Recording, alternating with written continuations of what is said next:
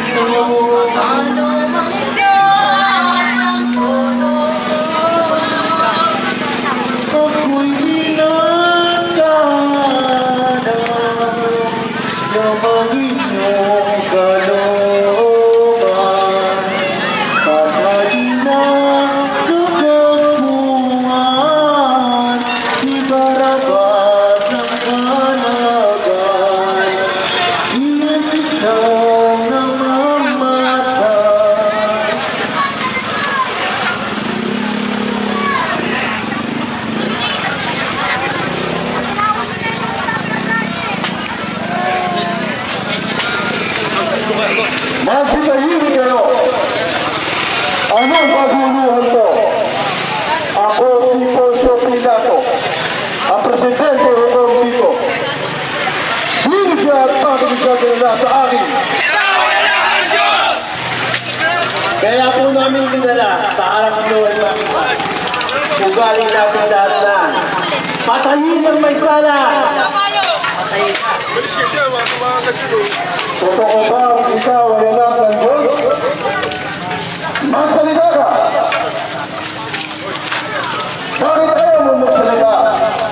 Alam mo ba kapag nagsalita ka, nasa akin na kapangyarihan